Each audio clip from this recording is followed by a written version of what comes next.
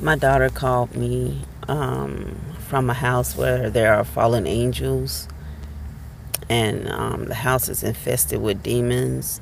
And um, three of my children are living there with my granddaughter and my daughter's boyfriend. And my daughter called me, and the spirits that are in the house spoke to me. One of them saying, if I ever bring the police to their house again, he was going to kick me out of the house. But I don't know exactly was he referring to or who he was referring to. Was he t- referring to me or my children? Because I don't live there. However, the house, the apartment is my daughter's apartment, not her boyfriend's.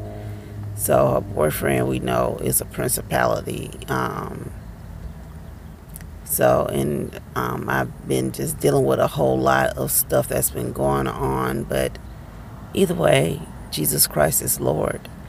And God has all power, rule, and dominion, sovereignty. He is head over every principality.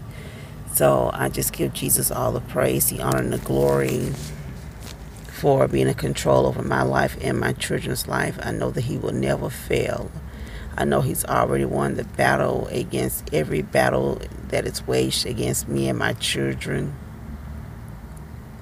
So I give God praise and I thank you, Jesus. Hallelujah. I cast my cares upon you for my children's safety, for my safety, Lord God, for our deliverance. Hallelujah. For our healing, uh, our restoration, our well being, God. That you are greater, Jesus, than any of these enemies that have come against me and my children, Lord.